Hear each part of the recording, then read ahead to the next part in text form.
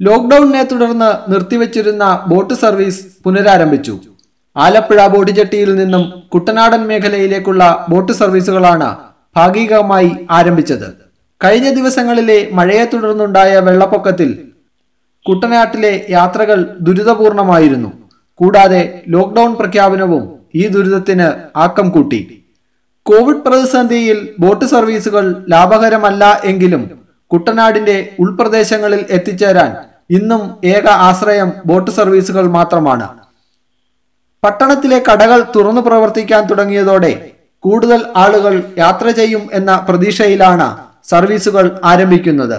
വരും ദിവസങ്ങളിൽ പ്രതീക്ഷിക്കുന്ന വേനൽ മഴ റോഡ് മാർഗം തടസ്സപ്പെടുത്തുന്ന സാഹചര്യമുണ്ടായാൽ കുട്ടനാട്ടുകാർക്ക് ഏക ആശ്രയം ഈ സർവീസ് ബോട്ടുകൾ മാത്രമായിരിക്കും.